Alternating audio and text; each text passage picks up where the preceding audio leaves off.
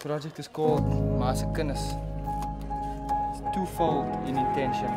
One fold is celebrating the matriarchal pillars that have upheld the wood. And the other form would be also looking at the hurt and pain that comes from gangsterism, drugs and violence that we are doing upon our mothers and also upon our greater mother which is the earth.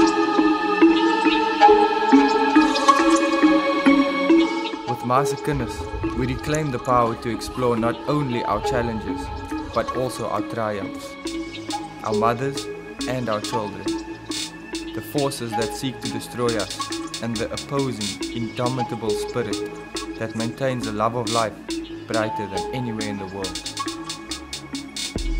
Salute Masakinnis.